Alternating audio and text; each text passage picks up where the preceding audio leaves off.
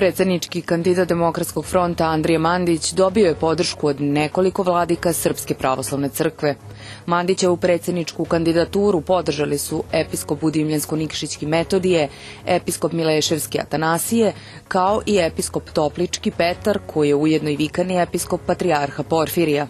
Podsjetimo, Mitropolija Crnogorsko-Primorska danas se oglasila povodom predstojećih predsedničkih izbora i pozvala verni narod da izađe na predsedničke izbore 19. marta i ne dozvoli bogoboračkim snagama bivšeg režima da se vrate na vlast. Predsednik Crne Gore Milo Đukanović raspisao je vanredne parlamentarne izbore za 11. jun. Đukanović je juče doneo ukaz o raspuštanju 27. saziva Skupštine Crne Gore. Podsećamo, rok za formiranje 44. vlade, čiji je mandatar bio Miodrag Lekić, istekao je 15. marta u ponoć. Po Ustavu Crne Gore, predsednik države raspisuje izbore prvog narednog dana po raspuštanju Skupštine. Po raspuštanju Skupštine izbori mogu biti održani najranije za 60, a najkasnije za 100 dana.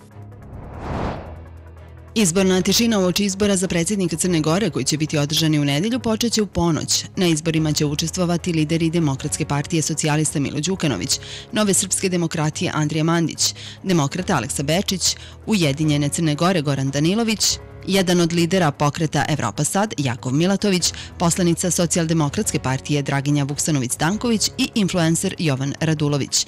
Glasačko pravo na predsjedničkim izborima ima 542.154 građana. Najviše birača je u Podgorici 143.608, a najmanje u Šavniku 1.777. Biračka mesta biće otvorena od 7 do 20 sati.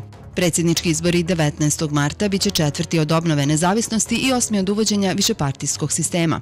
Za predsjednika Crne Gore biće izabran kandidat koji je dobio više od polovine važećih glasova birača koji su glasali. Ako ni jedan kandidat ne dobije taj broj glasova, održava se drugi krug izbora za 14 dana 2. aprila. U drugom izbornom krugu učestvuju dva kandidata koja su dobila najveći broj glasova. Za predsjednika države u drugom krugu biće izabran kandidat koji je dobio veći broj glasova izabranih birača. Predsjednici Crne Gore do sada su bili Momir Bulatović, Filip Vujanović i Milo Đukanović. Predsjednik se bira na mandat pet godina. Odnosi sa Zapadom su važni, ali su najvažniji odnosi u regionu koji su značajno narušeni za vreme vaše vlasti, poručuje predsjednički kandidat Demokratskog fronta Andrija Mandić, predsjedniku Crne Gore Milu Đukanoviću. On je kazao da će predsjednik Crne Gore učiniti sve da te odnose popravi i potvrdio svoju uverenost u kvalitet inicijative Otvorenog Balkana, kazavši da je Otvoreni Balkan značajan za svakog građanina.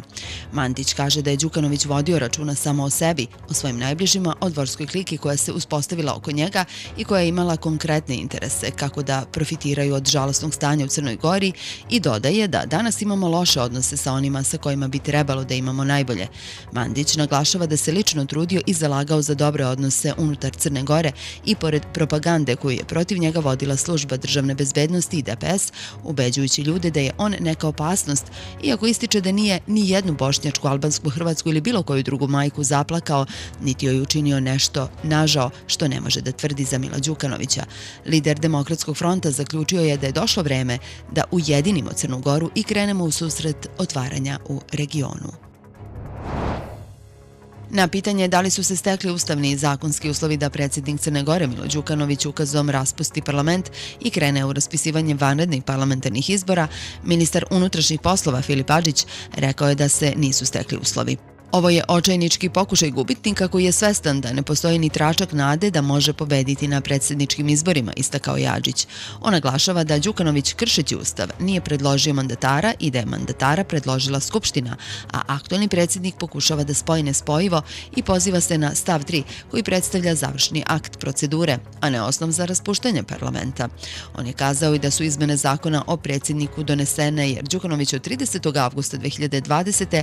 konstantno obstruira procese u Crnoj Gori i da ukoliko se ispostavi da je predsjednik Crne Gore prekrši ustav, stiču se uslovi da i on bude razrešen s funkcije, verujući ipak da će mnogo pre voljom građana biti smenjen nego odlukom Ustavnog suda.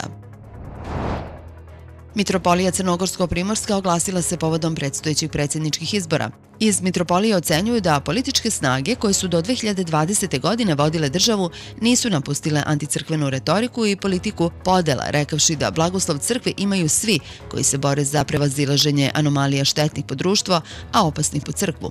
Mitropolija poziva sve verujuće ljude u Crnoj Gori, kao i sve ljude dobre volje, koji su spremni da čuju njihov poziv da ostvare svoje građanska i politička prava upisana u Ustavu naše države i koja su u skladu sa razvojem zdrave demokratske prakse, te da izađu na glasanje na predstojećim predsjedničkim izborima.